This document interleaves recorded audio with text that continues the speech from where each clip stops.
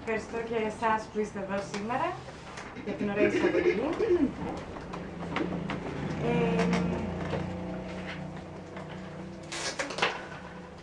λοιπόν, ε, με έβαλες σε σκέψη τα οποία νομίζω θα τα συμπληρώσουμε στην πορεία της συζήτησης και πυροδότησε και κάποιες ερωτήσεις στη συνέχεια για τον κύριο Χριστοδούλου. Λοιπόν, εγώ θα ήθελα να πω ότι τα βιβλία του Χρήστο Χριστοδούλου, όπως και τα άρθρα του που φιλοξενούμε και στην εφημερίδα, τα διαβάζω πάντα ανυπόμονα, γνωρίζοντας ότι τα στοιχεία που παραθέτει, αλλά και οι απόψεις του, προκύπτουν από βαθιά και συγκριτική γνώση, αλλά και από μια οπτική γωνία αντικειμενική και ψύχρεμη. Ο Χρήστος Χριστοδούλου αποσμιώνει πάντα τον αναγνώστη που ενδιαφέρεται για τις ελληνοτουρκικές σχέσεις. Η έρευνά του, ιστορική και δημοσιογραφική, είναι πάντα εις βάθος και εντελεχή. Οι δεκάδες πηγές που παρατίθενται στο βιβλίο Έλληνας Τούρκος είναι απόδειξη της εξαντλητικής αναζήτησης, της τεκμηρίωσης της πληροφορίας που επιδιώκει και επιτυγχάνει. Παρ' όλα αυτά, ο συγγραφέας δεν φανατίζει τον αναγνώστη και αυτό το θεωρώ εξαιρετικά σημαντικό, όπως σημαντικό θεωρώ και την ε, προσπάθεια που κάνει και που κάνουμε όλοι στο να καταλάβουμε τελικά την ταυτότητα την τουρκική και την οθωμανική και να δούμε ποια στοιχεία τις έχουμε εμείς, ποια στοιχεία τους δώσαμε εμείς. Ε, ο συγγραφέας ενημερώνει τον αναγνώστη και τον αφήνει να βγάλει ο ίδιος τα συμπεράσματά του, παρότι καταπιάνεται με εξαιρετικά πολύπλοκα θέματα που πολλές φορές πονάνε και τους δύο λαούς. Ωστόσο, ο Χρήστος Χριστοδούλου, που έχει εντρυφήσει στις ελληνοτουρκικές σχέσεις, ψάχνει αόπνος τι μας ενώνει και όχι τι μας χωρίζει. Αυτό είναι το ανέφερε και εσύ. Αποτυπώνει και αποδεικνύει πόσο καθοριστική είναι και για τους δύο λαούς η κοινή μας μοίρα. Μέσα από μικρές ιστορίες, οι πτυχές της ελληνοτουρκικής ιστορίας ο συγγραφέας αναδεικνύει ότι η σχέση των δύο χωρών ήταν και είναι κάτι πολύ περισσότερο από απορρίθμιση ιστορικών γεγονότων και ότι προκειμένου να κατανοήσουμε τις δυναμικές που σήμερα αναπτύσσονται, οφείλουμε να γνωρίζουμε ότι όχι μόνο τα κορυφαία γεγονότα της ιστορίας, αλλά και άλλες πτυχές του πολιτικού, οικονομικού, κοινωνικού και πολιτισμικού μοσαϊκού του παρελθόντος έχουν ιδιαίτερη σημασία. Ο Χρήστος Χριστοδούλου και μέσα από το βιβλίο αυτό αναπτύσσουν άγνωστε πτυχέ μέσα από την εις έρευνα και νυφάλια ματιά, σκιαγραφώντας παράλληλα το γενικότερο κλίμα της εποχής.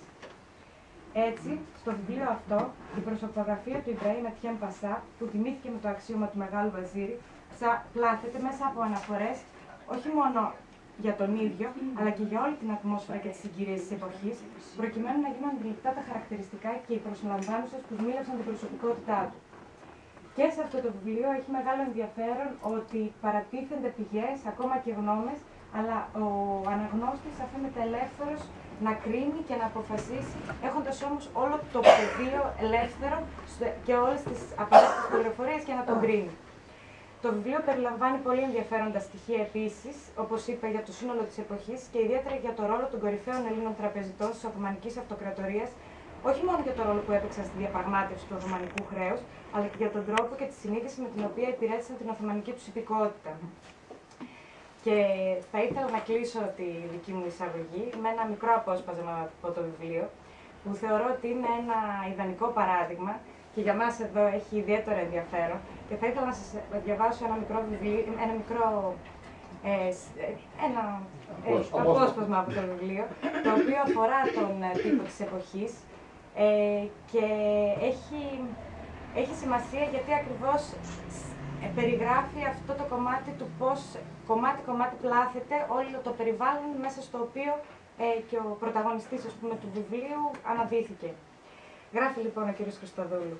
Ήταν η, όταν ο Ιμπραήμ Ατιέμ Πασάς το 1877 έγινε μεγάλος βεζίρης, ε, παραθέτονται στοιχεία για τον τύπο της εποχής.